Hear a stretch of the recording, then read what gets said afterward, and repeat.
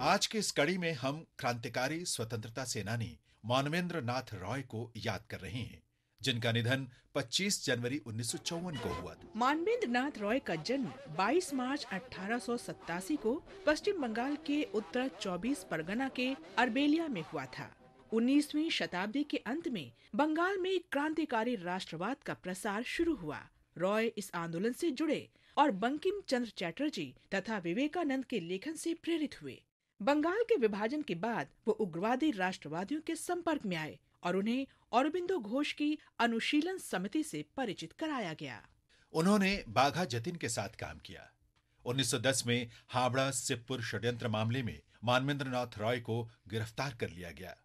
रिहा होने पर रॉय ने सन्यासी के भेष में 1914 तक यात्रा की। प्रथम विश्व युद्ध में बर्लिन से एक दूत कलकत्ता आया। और उसने क्रांतिकारियों को जर्मनी की ओर से सैन्य तथा वित्तीय सहायता का आश्वासन दिया। इसके बाद रॉय को जर्मन महावाणिज्य दूत के साथ बातचीत के लिए बटाविया भेजा गया था। ये व्यवस्था की गई थी कि हथियारों और गोला बारूद की खेप सुंदरबन क्षेत्र में पहुंचाई जाएगी। लेकिन हथियार वहाँ नहीं पहुँचे। मानवेंद्र नाथ रॉय वापस बटाविया गए और पाया कि जर्मन राजनयिकों से सहयोग की कोई उम्मीद नहीं थी। उन्होंने हथियारों के बिना भारत नहीं लौटने का संकल्प लिया। मानवेंद्र नाथ रॉय ने भारत, चीन, फिलीपींस, कोरिया, जापान और संयुक्त राज्य अमेरिका में क्रांतिकारियों से संपर्क करने के अपने मिशन को आगे बढ़ाया। 1917 में जब अमेरिका में पुलिस ने भारतीय क्रांतिकारियों को जर्मन जासूसों के रूप में घेरना शुरू किया, रॉय मैक्सिको चले गए। उन्होंने मोनरो सिद्धांत की अमेरिका की विदेश नीति पर व्याख्यान दिए और लेख प्रकाशित किए। जिससे सनसनी फैल गई। लेनिन ने जुलाई अगस्त 1920 के दौरान रॉय को मॉस्को में कम्युनिस्ट इंटरनेशनल की द्वितीय विश्व कांग्रेस में भाग लेने के लिए आमंत्रित किया। बाद में रॉय को कम्युनिस्ट इंटरनेशनल के एशियाई ब्यूरो का प्रभारी बनाया गया जिसका मुख्यालय ताशकंद में था। रॉय 1930 में भारत आए तो उन्हें पकड़ लिया गया और देशद्रोह का मुकदमा चलाया गया।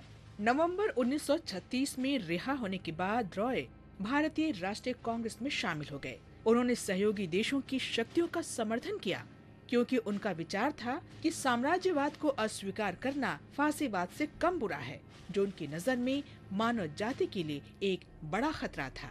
रॉय ने संघीय आधार पर संविधान सभा बनाने और अल्पसंख्यक समुदायों तथा क्षेत्रों के अधिकारों को मान्यता देने के लिए गैर पार्टी आधार पर चुनाव कराने की हिमायत की।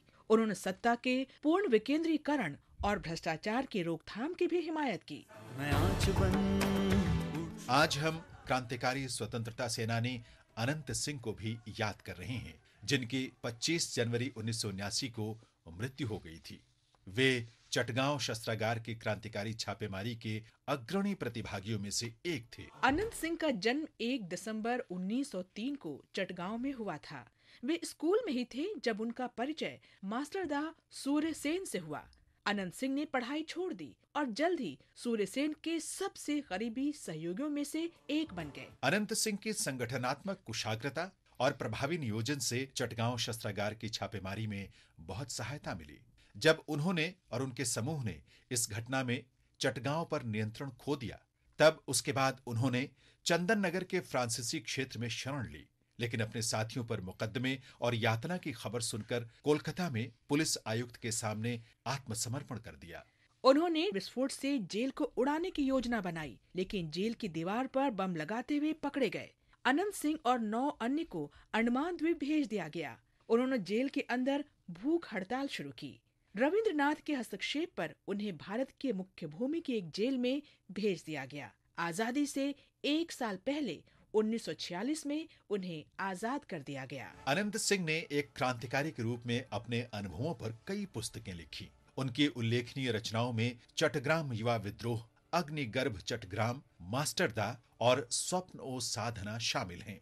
हमारा इस महान क्रांतिकारी को नमन है।